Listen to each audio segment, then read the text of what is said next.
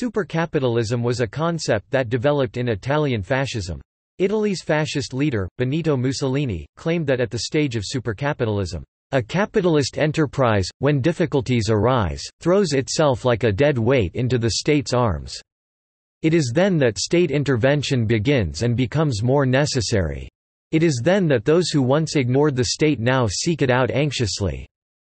To Mussolini, the capitalism of his time had degenerated from original capitalism, which he called dynamic or heroic capitalism 1830 to static capitalism 1870 and then finally to decadent capitalism or supercapitalism, which began in 1914.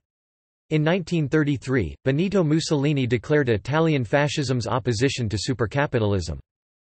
Mussolini thought of the Marxist socialist system in terms of state supercapitalism.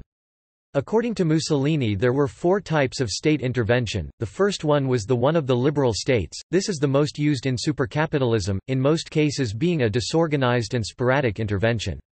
The second one was the one used by communists in its state supercapitalism.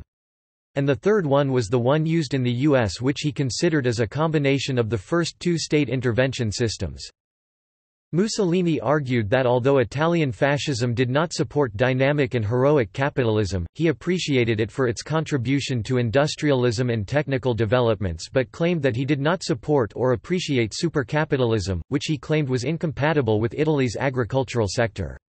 Mussolini strongly criticized this stage of supercapitalism, saying, at this stage, supercapitalism finds its inspiration and its justification in a utopia, the utopia of unlimited consumption. Supercapitalism's ideal is the standardization of the human race from the cradle to the grave. Supercapitalism wants all babies to be born exactly the same length so that the cradles can be standardized and all children persuaded to like the same toys. It wants all men to don the very same uniform, to read the same book, to have the same tastes in films, and to desire the same so-called labor-saving devices. This is not the result of caprice. It inheres in the logic of events, for only thus can supercapitalism make its plans.